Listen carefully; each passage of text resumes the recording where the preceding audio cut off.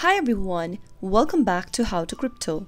In today's video, I'm going to show you how to edit watch list on Coinbase. Keep watching the video till the end and don't forget to subscribe to our channel if you've not yet. Also press the notification bell so that you'll never miss another upcoming upload from us. Tap open Coinbase app from the app drawer and make sure that you're logged in. The watch list will be displayed on the main homepage of Coinbase. The list gives you an instant overview of your favorite markets. For each market you save to your watch list, the exchange logo, asset pair, last traded price, and 24-hour changes are displayed. If you want to remove an asset from your watch list, then you can simply tap on the asset from your watch list category and tap on the star icon at the top right. Doing this will turn off price alerts and it will be removed from your watch list. Similarly, if you want to add in an asset on your watch list, simply tap on the Assets button at the bottom and tap on Explore Assets. Select any one asset that you'd like to add on your watch list and tap on the star icon located at the upper right. Soon after you do that, you'll be able to find this particular asset on your watch list, as you can see it on my display. To change the order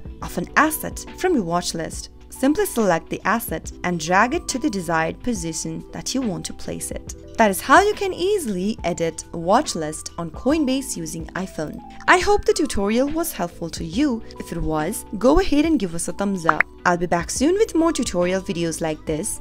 Thank you for watching.